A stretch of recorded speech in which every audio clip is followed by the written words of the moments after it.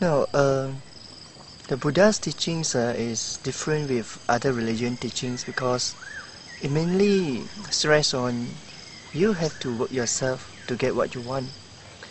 Now, last time uh, before I become monk, we use a lot of these uh, other religions, especially Christians. They like to preach their teachings to us. So I am a bit uh, sarcastic. So every time when they come and tell me, they say, uh, you have to trust us, you have to believe in God, otherwise you go to hell. We are helping you to go to heaven. So being sarcastic, I tell them, then let me go to the hell. I just, I just being that kind of person, I, I, I don't believe these things that come so easy. I don't believe.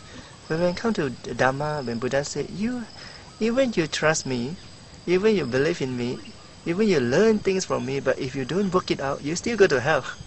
This is something very fair to me. Very fair to me. It's like, I'm not sure about other countries, but in Malaysia, there's a kind of so-called games, uh, but it's not good. Uh. You it chain letter. So these people, they put some sutra, mostly Mahayana sutras, then they put down all the sutra, then they write down this is good for you, so and so. But at the last few sentences, they will try to threaten you. You must photostat or photocopy this uh, this uh, piece of letters and pass to how many people in how many days or how many hours. Otherwise, uh, you will die or maybe your family will have accident and etc. So since young, I don't believe in this thing. Then once uh, we accept it and we receive it, we receive it. Every one of it in the classroom, we receive it. There are a lot of them come and seek for my advice uh, because being the president in the Buddhist society.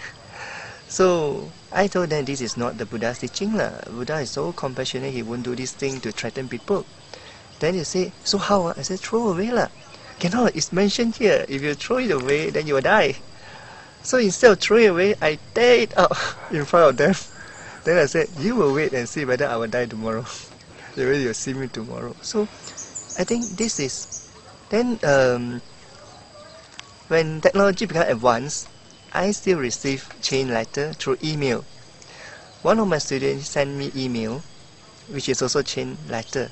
Uh, furthermore, they say this is spoken by Dalai Lama. Then after that, at the end, they also write down the same thing. You will do, you good, get good blessing and all this thing. And the last one, they will threaten you again, same contents lah. So tr trouble myself a bit. I resend to all of them in the CC and BCC maybe. Uh, only CC lah, carbon copies and and forwarded to forward back to them. I told them the the Buddhist the Buddha's teaching is not like that. Buddha's teaching teach people to be com compassionate. It won't threaten people and give fear to people. So I send them to to all of them.